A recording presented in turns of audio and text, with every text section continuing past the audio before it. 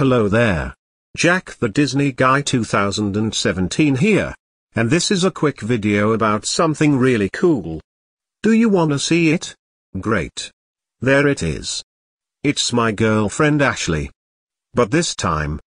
In Comedy World form. Since I got the Comedy World character creator back. I've been able to make new Comedy World characters. And Ashley is one of them. Also her voice is still Allison. Here's how she sounds like. Hi.